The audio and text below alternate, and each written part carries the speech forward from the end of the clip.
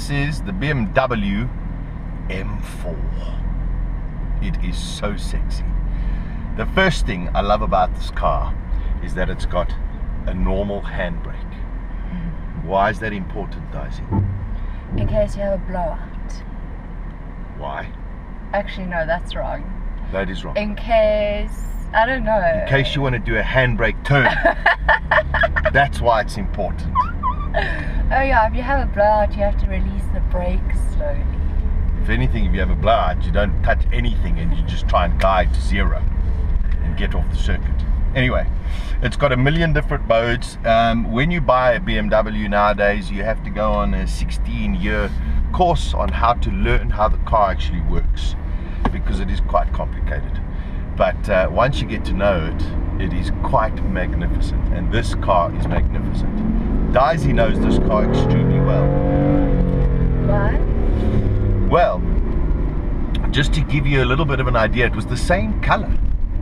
But we were very fortunate enough to be invited by BMW to go and drive with DTM racer Bruno Spengler. I remember. So we had the opportunity of driving around the Kyalami International Racing Circuit with Bruno Spengler. I was fortunate enough to drive this car on its own, and then Bruno Spengler took us around and then showed us how a car should actually be driven. I don't think there was one corner that he wasn't sideways. It was frightening. Daisy's ovaries were popping juices like you've never ever known in your whole life. Um, purely because she enjoyed the excitement of the um, driving, but she fell madly in love with Bruno Spengler. No, I did not. Oh, you he did. fell in love with me. Okay, no, he did. He did. Bruno Spengler fell quite in love with uh, Daisy Fletch. Now the thing is, I've got heads-up display here. It tells me what speed I'm going. You can adjust just about every single thing. It's got every modcon, sat nav, uh, audio system, Hot 91.9. Um, that's the most important thing, so you can pick up wherever you want. You can adjust the suspension settings so you go into sport mode. So it does become a little bit harder when you drive. But I mean, just feel that gearbox and listen to it. That amazing Insane. it is a spectacular car.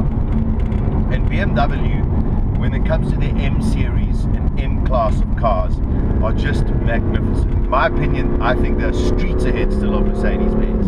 To me, the M Power is incredible. Still one of my favorite cars is the M5. Always loved the M3. And now we have the M4, which is just, it's like an M3, but it's called an M4. And don't ask me why Why is it called an M4? because I don't really know. Because now there's a two, and then there's a now a three, and a four, and a five, and a six, and a seven, and they've got the i8. So they've managed to count quite well. Question is, is once they get to nine, where do they go after that? We've got the zero. I don't know what they're going to do. 10. The i10. Um, that's a Hyundai. we don't really want a i10, do we? Um, anyway, listen, the car's magnificent to drive. Really has every single thing that you could ever want. It's going for, I think, 1.3 million at uh, the Imperial Collection. It's got 4,700 k's on the clock. It's got the racing stripes on the bonnet, as you can see. I mean, the, just even the detail. Look at the side mirrors. Look at the side mirrors, the way they're done. It's got the Harman Kardon sound system in it. It's blue. It's it's got this light blue the a grey interior. It's beautiful to sit in. You put it into just a, a standard mode. Everyone looks at you. Look at the people next to us. Are they're looking at us. Yeah, they're loving this car. Well, they're loving me. They're male. Oh.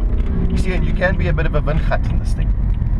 Because you've actually got the power to be the windgat. You'll catch up with people at traffic lights in Porsches and those kind of things, and they'll be a little bit scared to take you on because then they'll see how racy this thing looks, and then you'll just play with it.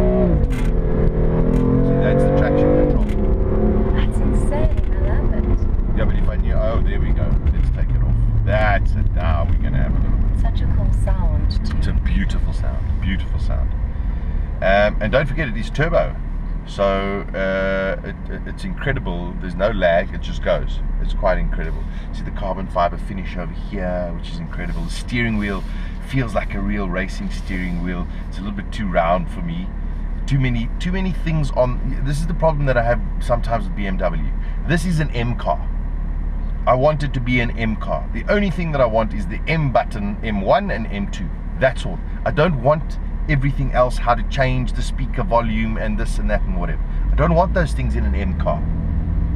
I just want the M buttons. That's all. Because that's what they're about. But it's nice to have buttons to control other things. But this is a racing car. This is a proper sports car. We want You to. still need to be listening to Hot 91.9. Yeah, but that's it. You can just adjust it here. See?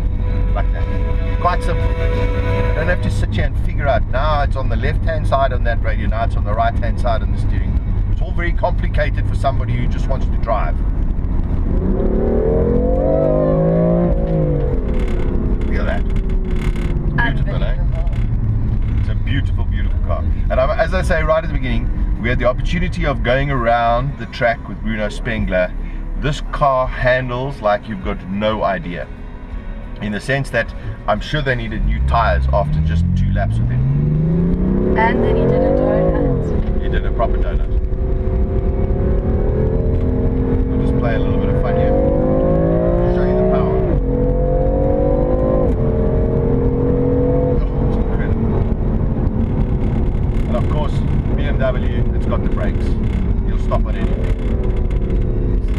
Sound, eh? And of course, got the, the, the flipping the roof and all that stuff. Yeah, those kind of things.